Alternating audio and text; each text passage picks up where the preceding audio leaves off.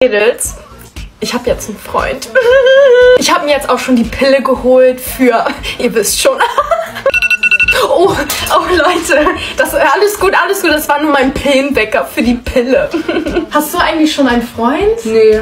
Nicht? Nee. Oh, dann kann ich leider nicht mit dir über die Erfahrung reden. Mm, sorry. Mm.